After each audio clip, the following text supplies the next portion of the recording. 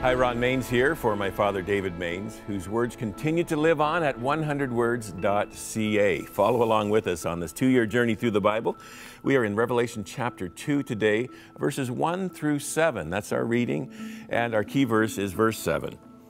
He who has an ear, let him hear what the Spirit says to the churches.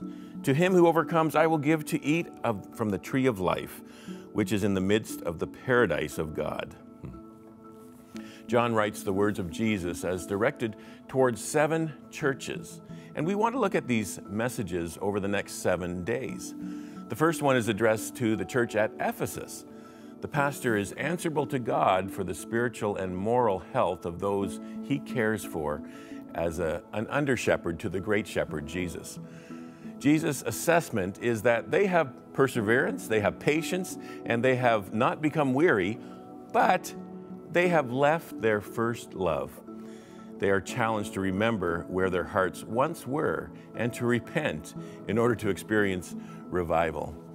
Those who responded in repentance and renewed their first love received from Jesus a marvelous promise. Well, our prayer for today is Dear Lord Jesus, I pray for grace to learn the same lessons in my personal life which you taught the Ephesian believers. I repent. I pray fervently for revival of my first love. I dare not live with one foot in the pagan culture and another foot in the church. By your grace, I desire with all my heart to be one who overcomes and who will eat of the tree of life in paradise. In your name, Jesus, I pray. Amen. Amen. Continue to follow along at 100words.ca.